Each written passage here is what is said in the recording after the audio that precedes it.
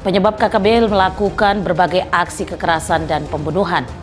Mulai hari ini, masuk ke puncak Papua wajib tes PCR.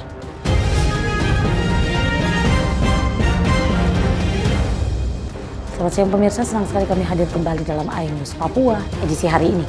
Selain kedua informasi tadi, beragam berita dan informasi menarik lainnya telah kami siapkan dari ruang redaksi iNews Papua. Bersama saya Marlene Sawaki, kita ikuti informasi selengkapnya.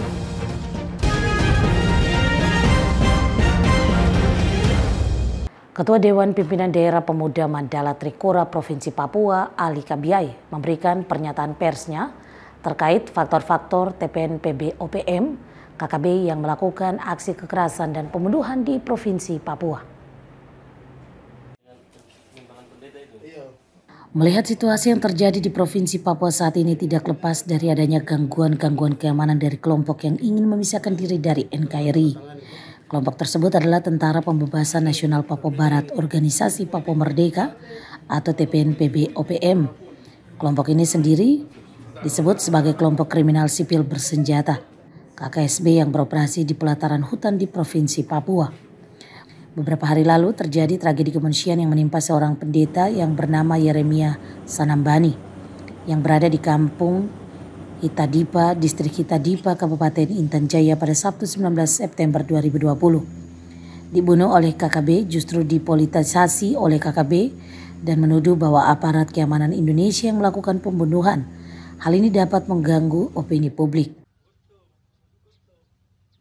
Ketua DPD Pemuda Mandala Trikora Provinsi Papua Ali Kabiai menyampaikan ada lima faktor-faktor yang membuat KKB melakukan aksi kekerasan dan pembunuhan. Salah satunya, KKB ingin agar agenda Papua dimasukkan di dalam agenda sidang umum PBB yang dilaksanakan pada tanggal 22 sampai 29 September 2020.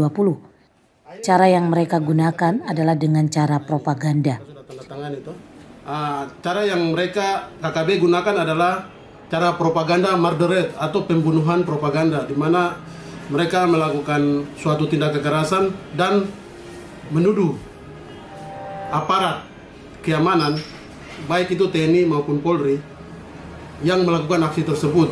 Yang berikut adalah dukungan negara-negara Pasifik terhadap organisasi Papua Merdeka ini sudah meredup. Tidak adanya dukungan dari blok Pasifik ini terjadi karena sedang sedang adanya pandemi COVID-19. Ah, yang ketiga adalah TPNPB kehilangan sebagian pentolan diplomasi mereka di luar negeri. Ali KBI berharap kepada masyarakat agar tidak terprovokasi dengan hal-hal yang terjadi di Papua karena Papua merupakan bagian yang tidak terpisahkan oleh NKRI. Oleh karena itu Ali KBI juga mengajak masyarakat untuk bersama-sama berbaur dan membangun Papua yang aman dan penuh damai. Papua adalah zona damai. Dari kota Jayapura, Darul Mutakin News Jayapura melaporkan.